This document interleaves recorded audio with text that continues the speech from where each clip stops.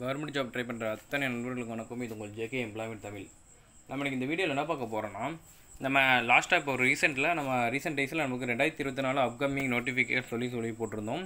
So இப்போ வந்து இந்த டீட்டெயில் நம்ம இந்த வீடியோவில் வந்து சொன்னது தான் ஆனால் அந்த வீடியோ வீடியோவில் வந்து எவ்வளோ படிச்சிருக்கோம்? ஸோ அந்த ஷெடியூல் படி நம்ம போடாமல் இருந்திருப்போம்.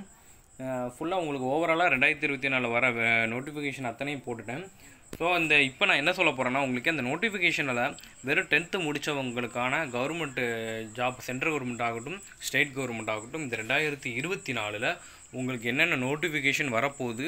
ஸோ அது வந்து எ- எவ்வளோ சீக்கிரத்தில் நம்ம படிக்கணும்? அதெல்லாம் எல்லாத்தையும் உங்களுக்கு ஷேர் பண்ண போகிறேன் ஸோ இந்த வீடியோ ஃபுல்லாக பாருங்கள் ஸோ லென்த்தாக போனாலும் ஃபுல்லாக பாருங்கள் ஸோ ரொம்ப யூஸ்ஃபுல்லாக இருக்கும். ஏன்னா ஷெடியூல் போடலாம். எக்ஸாம் அதாவது எல்லோரும் என்ன செய்கிறீங்கன்னா எக்ஸாம் ஒரு எக்ஸாம் வருதுன்னா அந்த எக்ஸாமுக்கு மட்டும் படிக்கிங்க. அதுக்கு அடுத்த எக்ஸாம் அடுத்த ஒரு ஒன் ஆர் டூ மந்த்தில் வந்துடுது ஸோ அதுக்கும் நீங்கள் படிக்கிறது என்ன செய்றீங்க? அந்த கொஞ்சம் டைமில் ஒரு ஒரு ஒன் மந்த் டூ மந்த் கேப்லேயே தான் உட்காந்து நீங்கள் படிக்கிறீங்க.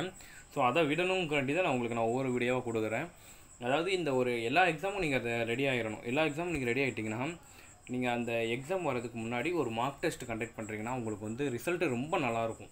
ஸோ நீங்கள் நீங்கள் ட்ரை பண்ணி பாருங்கள் ஏன்னா இன்னும் எக்ஸாம் வரதுக்கு டைம் இருக்குது ஸோ அந்த எக்ஸாமுக்கான ஓவராலாக படிச்சிட்டிங்க. அப்படி ஓவரால் நீங்கள் படிச்சிட்டிங்கன்னா நீங்கள் எந்த எக்ஸாம்னாலும் நீங்கள் அப்ளை பண்ணி ப்ரிப்பேர் பண்ணிங்கன்னா சூப்பராக மார்க் வரும். ஸோ அதான் சொல்கிறேன் நம்ம சேனலில் நிறைய பேர் படிக்கிறவங்க நிறைய பேர் டென்த்து முடித்தவங்க நிறைய பேர் இருக்கீங்க. ஸோ அவங்களுக்கு தான் அந்த வீடியோ நான் மேக் பண்ணேன். ஸோ டென்த்து முடித்தவங்க இந்த வருஷம் வந்து ஒன்று நீங்கள் டென்த்து முடிச்சிருக்கும் நல்ல டிகிரி முடிச்சிருக்கும் ஸோ இந்த ரெண்டுமே இருக்கிறவங்களுக்கு நல்ல வேகன்சி நிறையா வரும். ஸோ டென்த்து முடிச்சிருக்கீங்களுக்கு இருந்தீங்கன்னு வச்சுக்கோங்களேன் எக்ஸாமும் அந்த அளவுக்கு இருக்கா? ஸோ நீங்கள் ஆனால் இப்போ உள்ள காம்படிஷன் வேல்டில் வந்து உங்களுக்கு இருக்க தான் செய்யுது. ஸோ நீங்கள் ட்ரை பண்ணிங்கன்னா கண்டிப்பாக வந்து உங்களுக்கு டிகிரி ஸ்டாண்டர்டோட இது வந்து அந்த அளவுக்கு கஷ்டம் கிடையாது. ஸோ ட்ரை பண்ணுங்கள் நானும் நம்ம சேனல்ல இருந்து உங்களுக்கு எவ்வளோ எவ்வளோ உங்களுக்கு நம்ம சைட்லேருந்து எவ்வளோ பங்களிப்பு கொடுக்க முடியுமோ உங்களுக்கு அவ்வளோக்குள்ளே அவ்வளோக்குள்ள நாங்கள் தருவோம். So first of all first வீடியோக்குள்ளே போயிடும்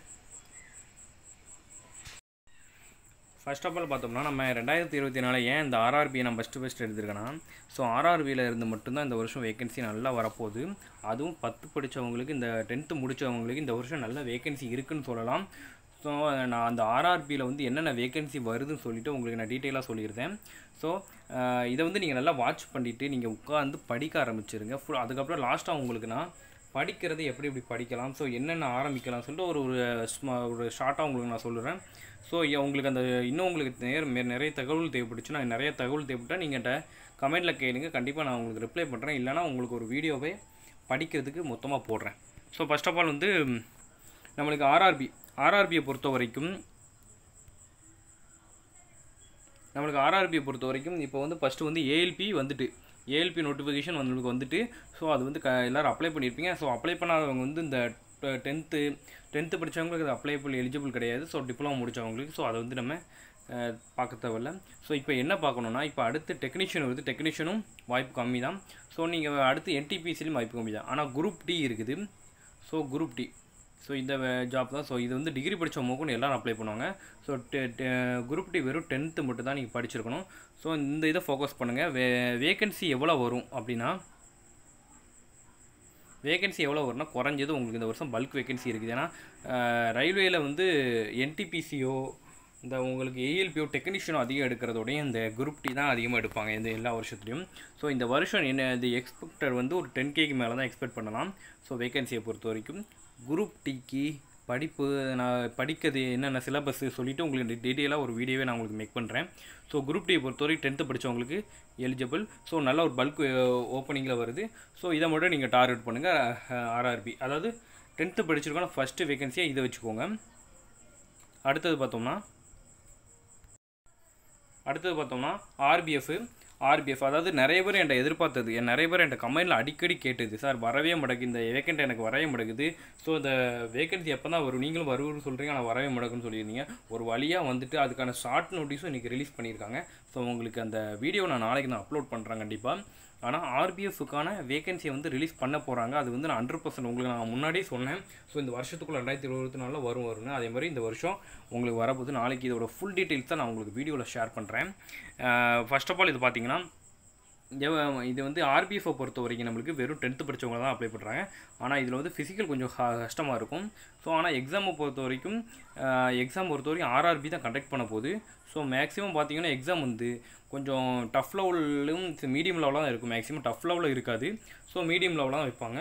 ஸோ இது வந்து உங்கள் டென்த்து படித்தவங்களுக்கான ஒரு ஜாப் இது. அடுத்து பார்த்தோம்னா அடுத்து பார்த்தோம்னா டென்த்து படித்தவங்களுக்கு என்ன அடுத்துனா தமிழ்நாடு போலீஸ்லேருந்து கா பிசி கான்ஸ்டபிள் வரப்போகுது. ஸோ எவ்வளோ வேகன்சின்னு சொல்லி கேட்காதீங்கன்னா எவ்வளோ வேகன்சி வந்து இந்த வருஷம் ஃபைனல் ஆகலை.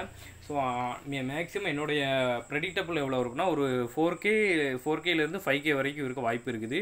ஸோ ஏன்னா போன வருஷம் பட்ஜெட்டு தொடரில் வந்து நம்மளுக்கு நம்மளுக்கு எத்தனை டென் கே பத்தாயிரத்துக்கு மேலே வந்து இருக்குது பிசி கான்ஸ்டபுளில் உங்களுக்கு வேக்கண்ட் எடுக்க போகிறோம்னு சொல்லியிருந்தாங்க. ஆனால் லாஸ்ட் இயர் விட்டது நாலாயிரம். இந்த வருஷம் ரிட்டையர்மெண்ட் எல்லாமே சேர்த்து ஒரு ஒரு கால்குலேஷன் பார்த்தா குறைஞ்சது நம்மளுக்கு இப்போ இருபதாயிரம் முதற்கொண்டு நம்மளுக்கு வேக்கண்ட் இருக்கும். ஆனால் இருபதாயிரம் போடுவாங்களா அப்படின்னு கேட்டிங்கன்னா நிறைய சேனல் அப்படி தான் சொல்கிறாங்க நான் வந்து நம்பாதீங்க எதையுமே. இருபதாயிரம் போடுறாங்க ஐம்பதாயிரம் போடுறாங்கன்னா கிடையவே கிடையாது. வெறும் நாலாயிரம் நாலாயிரத்து நாலாயிரத்துலேருந்து ஐயாயிரம். இந்த இந்த இவ்வளோ தான் வேக்கண்ட்டு ஸோ பெரு பெருசாக எக்ஸ்பெக்ட் பண்ணாங்கன்னா ஆனால் வந்து தமிழ்நாடு போலீஸ் வந்து நிறைய பேர் வந்து அப்ளை பண்ணிங்க. ஏன்னா இந்த வருஷம் நம்மளுக்கு கிட்டத்தட்ட டென்த்து படித்தவங்க அதாவது எல்லா வருஷமும் ஒரு வருஷம் உங்களுக்கு ஆர்ஆர்பி வரும் அடுத்த வருஷம் பார்த்திங்கன்னா அது தமிழ்நாடு போலீஸ் வந்துச்சு ஒவ்வொரு வருஷம் ஒன்று வந்துச்சு.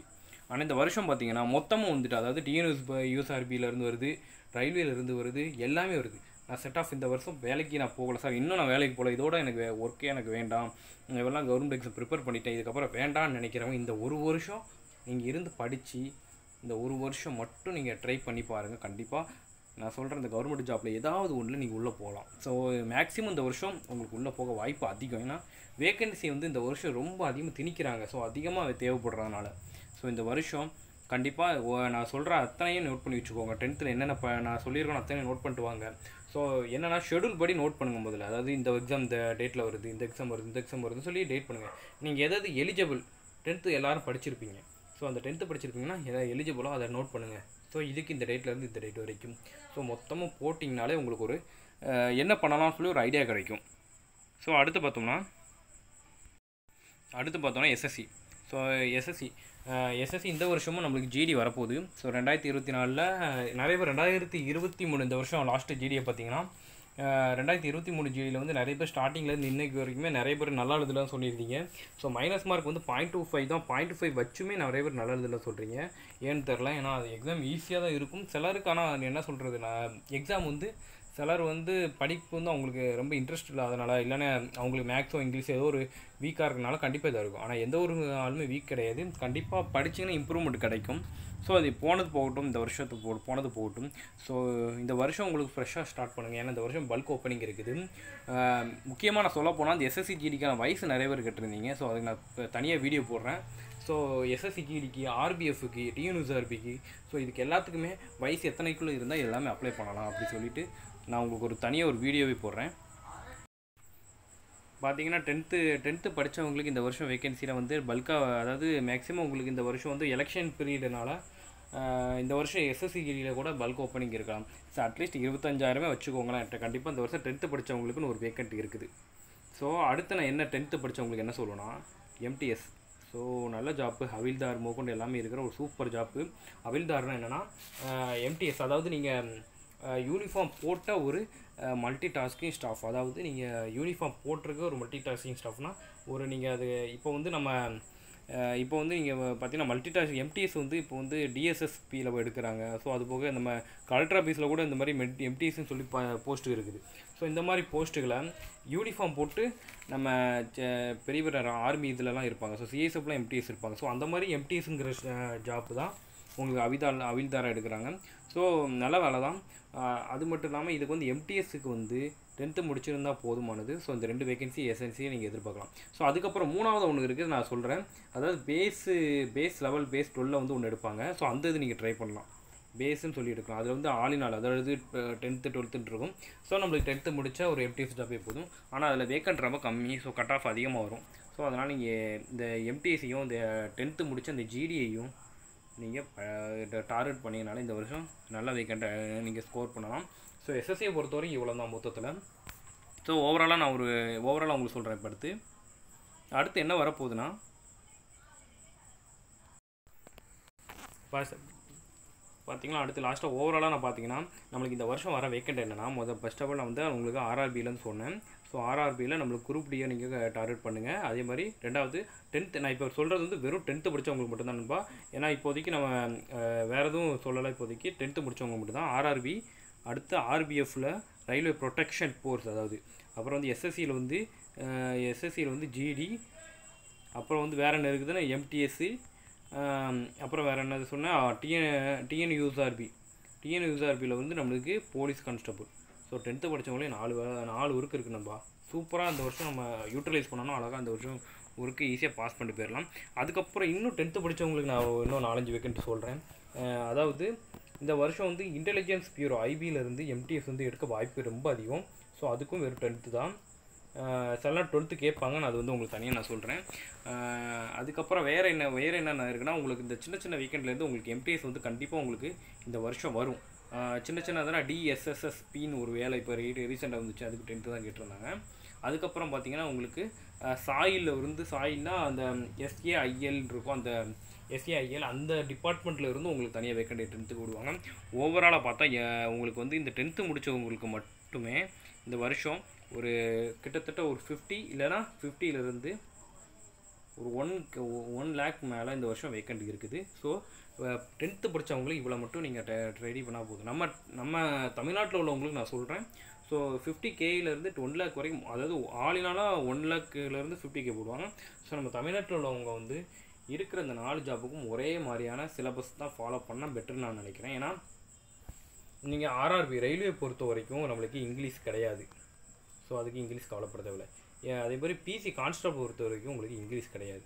இதில் நம்ம இங்கிலீஷ் படிக்க போகிறது வந்து எஸ்எஸ்சியில் வந்து ஜிடிக்கும் அப்புறம் வந்து நம்ம எம்டிஎஸ்க்கு மட்டும் தான் படிக்க போகிறோம் அப்புறம் வந்து இந்த டிஎஸ்எஸ்பி அந்த எம்டிஎஸ் ஜாப்பில் வந்து ஐபி இன்டெலிஜென்ட் பியூரோவில் ஐபி இந்த இதுக்கு வந்து நம்ம கண்டிப்பாக இங்கிலீஷ் தெரியணும் ஸோ அது கூட விடுங்களேன் இந்த வருஷம் வந்து குரூப் டியையும் பிசி கான்ஸ்டபிளையும் நீங்கள் ஃபோக்கஸ் பண்ணாலே இந்த வருஷம் உங்களுக்கு ஒர்க் அதிகமாக கிடைக்க வாய்ப்பு இருக்குது. ஸோ எஸ்எஸ்சி ஜிடியை பற்றி உங்களுக்கு முழுக்க முழுக்க ரெண்டாயிரத்தி இருபத்தி நாலு இருபத்தஞ்சில் கண்டிப்பாக வரப்போகுது. ஸோ அடுத்த வேகன்சிக்கான ஒரு ஃபுல் டீட்டெயிலாக உங்களுக்கு ஒரு வீடியோ தரேன். ஆனால் அது உங்களுக்கு நீடாக தேவையா இல்லைன்னு எனக்கு கமெண்ட்டில் கண்டிப்பாக போடுங்க. இதில் எந்த ஜாப்புக்கும் உங்களுக்கு இன்டெப்த்தாக உங்களுக்கு வரு வேணும்னு சொல்லி கேட்டிங்கன்னா நான் உங்களுக்கு உடனே வீடியோ போடுறேன். ஃபர்ஸ்ட் ஆஃப் ஆல் இது வந்து டென்த்து முடித்தவங்க ஃபஸ்ட்டு ஃபஸ்ட்டு எந்த ஜாப் வரப்போகுதுன்னா எனக்கு தெரிஞ்சு பிசி வர வாய்ப்பு இருக்குது. ரெண்டாவது வந்து உங்களுக்கு வந்து ஏன்னா மேக்ஸிமம் எல்லா வகையான உங்களுக்கு டென்த்து படித்தவங்களுக்கான ஒர்க்கு அத்தனையுமே உங்களுக்கு இந்த இன்னும் ஒரு ஆ- ஒரு கிட்டத்தட்ட ஒரு ஆறு இல்லை நாலு மாதத்துக்கு ஃபோர் மந்த்துக்கு ஒரு ஒரு ஒரியும் கிடையாது. வரைய வராது இந்த வேக்கண்டும் டென்த்து படித்தவங்களுக்கு ஸோ எம்டிஎஸ் மட்டும் உங்களுக்கு ஒன்று ஜூலை ஜூலை சம்திங் எதுவோ வருது. ஸோ இப்போ பார்த்தீங்கன்னா ஒரு ஒரு நாலு மாதங்கிட்ட உங்களுக்கு டைம் இருக்குது.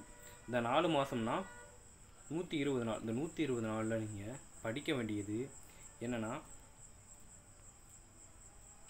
first of all reasoning reasoning எல்லா இதுலேயும் இருக்கும். ஆப்டி எல்லா இதுலேயும் இருக்கும். ஜிகே எல்லா இதுலேயும் இருக்கும். ஸோ இங்கிலீஷை பொறுத்த வரைக்கும் இங்கிலீஷை பொறுத்த வரைக்கும் உங்களுக்கு ஆப்ஷன் தான். ஸோ நான் வந்து சார் நான் எனக்கு இங்கிலீஷ் சுத்தமாக வராது. நான் குரூப் டி இப்போ எப்படியாவது குரூப் டியில் நான் செலக்ட் ஆகணும்னு சொன்னீங்கன்னா நீங்கள் ரீசனிங் ஆப்டிடியூட் ஜிகே படித்தா போதும். இல்லை எனக்கு வந்து ஜிடி போகணும். எனக்கு ஜிடி தான் என்னோட எய்ம் சிஎஸ்எஃப் தான் என்னோட எய்ம்னா நீங்கள் இங்கிலீஷும் படிக்கணும். இப்போ இருந்தே ஸ்டார்ட் பண்ணுற சொல்கிறேன் ஸோ ஒரு நாளைக்கு நாலு மணி நேரம் அஞ்சு மணி நேரம் ஸ்டார்ட் பண்ணால் கூட போதும். ஸோ இந்த இதை மட்டும் கொஞ்சம் ப்ரிப்பேரிங்காக தினமும் உட்காந்து படிச்சிங்கனாலே நீங்கள் குரூப் டி இல்லாட்டி நீங்கள் எஸ்எஸ்சி ஏதோ ஒரு ஒர்க்கில் இந்த வருஷம் நீங்கள் போகலாம். இந்த வருஷம் ரெண்டாயிரத்தி இருபத்தி நாலு யூட்டிலைஸ் பண்ணுங்கள் கண்டிப்பாக ரெண்டாயிரத்தி இருபத்தஞ்சில் ஒரு நல்ல வேக்கண்ட்டுக்கு நல்ல ஜாப்புக்கு நம்ம போகலாம். அடுத்து பார்த்தோம்னா இல்லை சார் எனக்கு வந்து போலீஸ் கான்ஸ்டபிள் போகணுன்னு வச்சுக்கோங்க. நீங்கள் வந்து ஜிகே அதாவது தமிழில் சொல்ல போனால் நம்மளுக்கு நீங்கள் நான் கண்டிப்பாக அந்த வருஷம் க நிறைய ஒருத்தர் கேட்டிருந்தேன். கரண்ட் அஃபேர்ஸ்லாம் நான் நான் போலீஸ் மட்டும் தான் ப்ரிஃபர் பண்ணுறேன் வேறு எந்த ஜாபும் போடலை.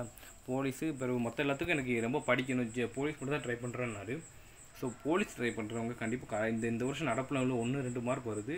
ஸோ நீங்கள் அதையும் சேர்த்து படிக்கணும். அது நான் ஃபுல்லாக ஒரு டீட்டெயில் தரேன். ஒருத்தர் கமெண்ட்டில் சொல்லியிருந்தார். உங்களுக்கு நான் அந்த பிசிக்கு என்ன படிக்க ஏன்னா ஒவ்வொரு வருஷமும் காம்படிஷன் வர வர அவன் டஃப்னஸ் ஏற்ற தான் செய்வாங்க.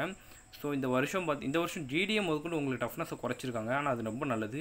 ஸோ அடுத்த வருஷம் ஃபாலோ ஆகும். ஆனால் ஆகலைன்னா கூட நீங்கள் க நீங்கள் வந்து ரெடியாக இருக்கணும். எல்லா ஒர்க்குக்கும் அதுக்கு நீங்கள் இந்த டேலேருந்து ஸ்டார்ட் பண்ணிங்கன்னா தட் டேலேருந்து ஸ்டார்ட் பண்ணிங்கன்னா உங்களுக்கு கண்டிப்பாக ஸ்கோர் நல்ல ஸ்கோர் கிடைக்கும். ஸோ தினமும் ப தினமும் படிங்க.